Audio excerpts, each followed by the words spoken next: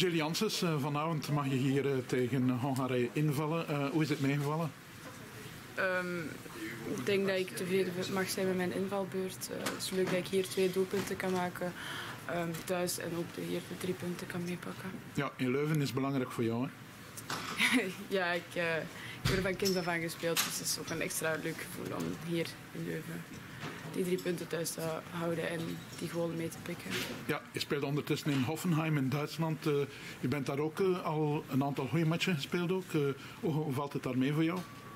Ehm, ik heb denk ik zeker de juiste keuze gemaakt om naar Hoffenheim te gaan. Ik voel me daar goed. Vanaf de eerste dag direct goed opgepikt door de, door de meiden die daar zitten. Dus ja, En ook een coach die heel belangrijk is, die van Wolfsburg komt. ja hij heeft mij op een korte periode toch al veel bijgeleerd. Dus het is, eh, is goed. Oké, veel succes voor de toekomst.